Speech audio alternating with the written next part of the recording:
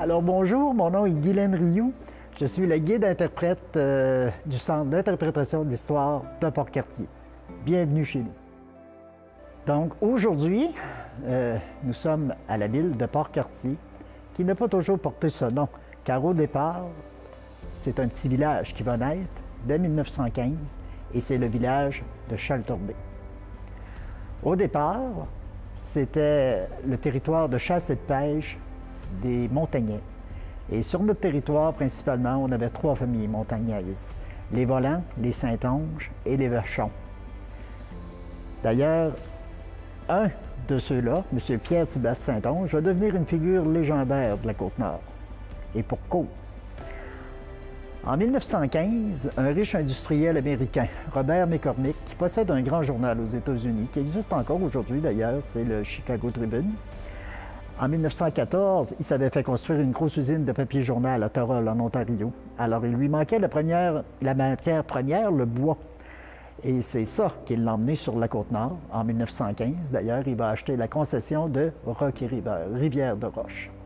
Alors, lorsqu'il débarque sur le territoire en cette même année, c'était déjà le début de l'hiver. Et malheureusement pour eux, arrivés près du lac Pasteur, ils vont se perdre en forêt. Et là, il souffrait de graves engelures lorsque McCormick décide de monter dans un arbre pour pouvoir se situer. Et c'est là qu'au loin, il va voir un camp éclairé. C'est le camp de M. Pierre Thibas Saint-Onge. Ils vont se diriger vers ce camp. M. Saint-Onge va les accueillir à bras ouverts. Il va leur fournir hein, un thé chaud, des couvertures chaudes, un bon repas chaud. Pour McCormick, ça équivaut à lui avoir vraiment sauvé la vie. D'ailleurs, en 1915, c'était déjà le début de la Première Guerre mondiale, donc il a été servir à la guerre comme correspondant de guerre. Lorsqu'il revient en 1919, il y a de la suite des idées. Il se dit que Rivière de Roche, là, ça va faire peur aux capitaines de bateaux qui vont venir chercher le chargement de bois de pulpe, avec raison d'ailleurs. Alors c'est pour ça qu'il décide qu'il va rebaptiser l'endroit du nom de Shelter Bay, ce qui signifie la baie de l'abri, un abri pour s'abriter. Et la Côte-Nord, on doit beaucoup à ce grand personnage-là. D'ailleurs, McCormick, dès 1920, il va fonder avec son cousin, Medill Patterson, nous le nom des, des îles Patterson qu'on a ici. Medill Patterson, c'est le père du journalisme aux États-Unis. Ils vont fonder un tout nouveau journal qui existe encore aujourd'hui et c'est le Daily News. Et le Daily News, ça a l'air de rien, mais à l'époque, c'est le premier journal illustré au monde. Avant ça, on avait seulement de la nouvelle écrite dans les journaux.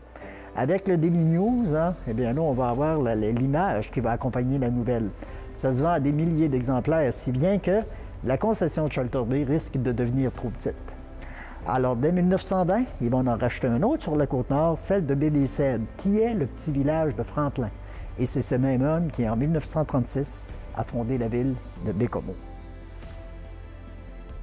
Donc, euh, ce qui emmène les gens sur la côte nord à cette époque-là, en 1919, hein, bien, au début en 1915, parce que tout est à construire naturellement, ils n'ont pas facile. Quand ils arrivent ici, c'est vraiment ce qu'on appelle en québécois une terre à bout de bout. Il y a du sapin, de l'épinette, de la petite mouche noire, mais c'est tout ce qu'il y a. Fait qu'imaginez-vous ces familles-là qui arrivent ici et c'est ça qu'ils ont devant leurs yeux, pas trop trop accueillant. Ça prend vraiment du courage. Les 50 premières familles à venir s'établir, viennent surtout de la rive sud du Saint-Laurent. Matane, Saint-Onge-des-Monts, la Gaspésie. Aussi de la base Côte-Nord, parce qu'il ne faut pas oublier qu'il y avait des petits villages de pêcheurs à l'époque. Mais l'industrie forestière va permettre à ces gens-là de faire vivre leur famille tout au long de l'année maintenant. Alors, quand le développement commence, hein, on commence en 1915, on va construire, bien sûr, tout ce qu'il y a à construire. Ils l'ont pas facile. Les premiers arrivés vont se construire des petits camps bois D'ailleurs, la plus vieille rue ici, c'est la rue des Pins. C'est la rue résidentielle du village et la rue Parent, la rue commerciale. Alors, ce qui est important de savoir à cette époque-là, c'est que le village de Shelterby, on n'est même pas compté dans le recensement canadien parce qu'on n'est pas euh, un village constitué, si vous voulez. On est une propriété privée et on appartient à la compagnie Québec Shore. Les gens du village vont dire même l'air qu'on respire appartient à la compagnie, tellement que la compagnie est forte. Tout leur appartient d'ailleurs. Et le village est mené par un gérant. Le premier gérant du village, d'ailleurs, c'est M. Arthur Schmoud. Et euh, à partir de là, des années prospères vont arriver au village. Le village qui commence dès 1915. Et on va faire l'industrie forestière, naturellement. Le bois est destiné euh, essentiellement à l'usine de Thorold en Ontario. On va avoir plusieurs années prospères, mais ce qui va mettre fin à cette magnifique compagnie, malheureusement, c'est un grand incendie. En 1955, la Côte-Nord est en feu et on a appelé ça l'été rouge de Chaltorbé parce que c'est ici que le feu a pris naissance, près de la rivière Foin. D'où vient le nom du village de Port-Cartier? Cas intéressant, Port-Cartier a connu plusieurs noms. Euh, à l'époque, c'est un lieu que les Inuits appelaient Massac ce qui veut dire le portage des mousses, euh, mousses végétales dans le fond, un portage qui longeait la rivière aux Rochers. Rivière aux Rochers, euh, dans ce cas-là, c'est un toponyme laissé par Champlain au tout début du 17e siècle. Il y a le nom de Shelter Bay qui va s'établir à l'arrivée du colonel McCormick, en fait, quand on installe toutes les les facilités industrielles sur la rive ouest de la rivière. Et c'est un nom qui va être connu pendant plusieurs décennies. Quand euh, l'industrie minière s'établit, Québec Quartier Mining, à la fin des années 50, c'est là que le village devient municipalité de Port-Cartier. La concession forestière, elle a passé au feu complètement. Alors, c'est ce qui va emmener la fin de Québec North ici. D'ailleurs, on va faire la dernière drave ici en 1961. On va quitter officiellement en 1963. Mais comme je vous disais tout à l'heure, le village de Shelter Bay, nous sommes une propriété privée. Donc, plus d'industrie forestière, le village, lui, est appelé à fermer. Heureusement, en 1957, le vent tourne. En 1957, il y a une filiale de US Steel aux États-Unis qui fait son apparition sur la côte nord. Et eux, ils s'en allent explorer la première fosse du Labrador, qui est la mine du lac Janine. Et c'est à 150 000 au nord du village de Shelter. Mais à cause du tirant d'eau qu'on a ici, on va construire le port de mer pour l'acheminement du minerai de fer, qui n'est pas banal. Il y en a seulement trois dans le monde de ces ports-là. Et bien sûr, rendu au nord, à la mine, ça va prendre une nouvelle ville, et c'est de là qu'est née la magnifique petite ville de Gagnonville. Alors les gens vont arriver par milliers pour l'emploi. Mais, à l'époque, ils ne peuvent pas construire dans le secteur Bay. Nous sommes toujours une propriété privée. Mais Québec Notre qui fait très bien que le village était appelé à fermer, accepte le vendre des terres, des terrains hein, pour la construction des maisons, tout ça. Et c'est là que le développement va commencer, d'ailleurs. Et euh, malheureusement, par contre, lorsque la compagnie commence à engager, les gens viennent de partout, mais ils n'engagent pas, pratiquement pas les gens de Bay qui, eux, avaient défriché le territoire, hein, qui étaient les premiers arrivés. Et c'est pour ça que les familles bijonnières vont avoir une très grosse discussion avec la minière. La minière n'aura pas le choix. Ils vont être obligés d'engager les gens d'ici avant toute chose. Et justement, pour calmer hein, les ardeurs de la population, sous, euh, en fait, c'est le, projet de M. Paul Bourassa, qui a emmené la construction des ponts parce que euh, ici à Port-Cartier, hein, on a des ponts en plein centre-ville, ce qui relie les deux secteurs d'ailleurs, l'ancien secteur de Bay et la nouvelle partie créée. Et c'est là que le 1er juillet 1959, on devient la ville de Port-Cartier. Alors arrive la minière hein, en 57, qui va construire un port euh, de mer assez exceptionnel, ce qui va emmener une autre compagnie en 67, la Louis Dreyfus, hein, qui va venir construire huit immenses silos à céréales parce qu'on transige aussi le blé de l'Ouest canadien par Port-Cartier. Suite à ça, arrive une autre compagnie, et là, c'est le gros boom économique. En 1973, Haïti Rayonier arrive.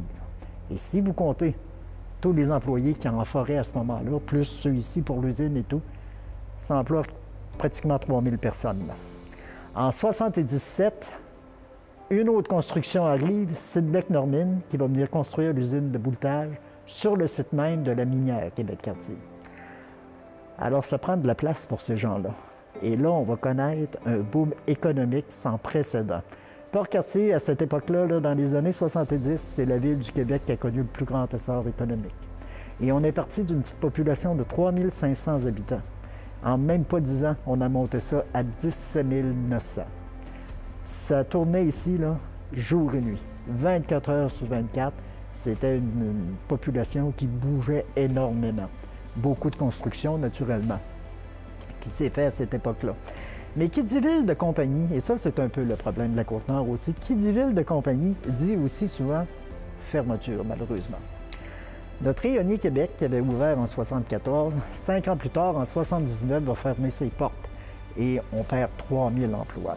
C'est quelque chose les gens vont commencer à quitter. Mais ce qui a pratiquement tué la ville de Port-Cartier à cette époque-là, C'est en 1980, c'est la crise majeure sur le marché du fer. Et là, tout ce qui nous reste, c'est la minière ici de Bec-Normine, hein, qui vivent par le fer. Et ça va durer près de 10 ans, ça. Et c'est là qu'on va connaître l'envers de la médaille. C'était euh, épouvantable. On est parti, euh, dans 10 ans, on est parti de 17 900 et on a tombé à 7 000 habitants. Maintenant, Port-Cartier, ben, c'est une ville très dynamique, hein. beaucoup, euh, beaucoup d'infrastructures. Moi, Port-Cartier euh, représente un lieu extraordinaire pour la chasse et pêche avec la réserve phonique au nord, euh, au nord de la ville. il y a également le centre d'interprétation du saumon. Port-Cartier est traversé par deux rivières, donc c'est un endroit assez particulier. Puis pour les amateurs de, de, hein, il y a le graffiti, café-théâtre, où il y a beaucoup, beaucoup, beaucoup d'artistes qui se produisent. toutes les villes minières ont connu le même sort avec cette crise du fer qui a duré près de 10 ans. Et euh, les gens vont quitter massivement. À cette époque-là, autant qu'il y avait eu de l'effervescence dans notre ville, euh, tout ce que tu voyais, c'était des maisons placardées, des blocs placardés. Tu pouvais te promener trois heures dans la ville euh, le soir, tu rencontrais même pas un chat. Tellement c'était, c'était épouvantable. C'était une période atroce pour les gens d'ici. Mais on est déjà fiers sur la Côte-Nord. Alors, on s'est relevé les manches, naturellement, pour pouvoir justement hein, reprendre notre économie, reprendre notre ville en main. Et c'est ce qui a emmené aujourd'hui que la ville de Port-Cartier est une petite ville où il fait si bon vivre. Et d'ailleurs, euh, Brian Mulroney, qui était premier ministre euh, en 85, euh, qui connaît très bien d'ailleurs le, problème qu'on a sur la Côte-Nord. Il ne faut pas oublier qu'il a été président de la Nord de cette île, euh, M. Mulroney. Et c'est un gars de Bécomo, tout de même. Donc, il, connaît bien. Euh, c'est suite à ça que, suite à la fermeture du vieux pénitencier de Laval, il va décider de faire construire le fameux pénitencier à sécurité maximale, ici même à Port-Cartier même s'il y, a eu des hauts cris à l'époque, hein, il y en a beaucoup qui ne voulaient pas que ça se fasse ici, c'était trop loin pour les familles des prisonniers et tout. Mais le but de ça, c'était de contrer l'exode de population qu'on connaissait à cette époque-là. Et tu vois, aujourd'hui, le pénitencier fait ses 30 ans. Alors, ça, ça diversifie, si vous voulez, l'économie. Le port de Port-Cartier, ce qui fait sa différence, contrairement que, que ce soit le port de cette île, Bécomo, Montréal, Québec, hein, c'est des, grands ports naturels en eau profonde. Nous, où le port est présentement, c'était une montagne qu'il y avait là, et on a, on a creusé le port à même la montagne. Quand tout a été fait, on l'a inondé, c'est-à-dire qu'on a fait le dragage, on l'a inondé, si bien que même à marée zéro, on a 50 pieds d'eau en tout temps au port de la minière Québec-Cartier.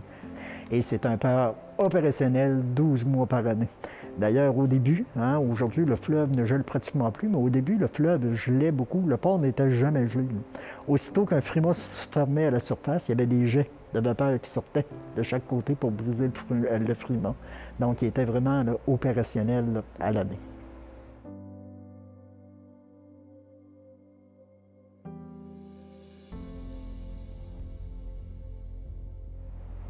Alors, avec les années, il y a beaucoup de choses qui s'est établies à Port-Cartier. Et euh, c'est une petite ville hein, où il fait bon vivre, une ville euh, de villégiature.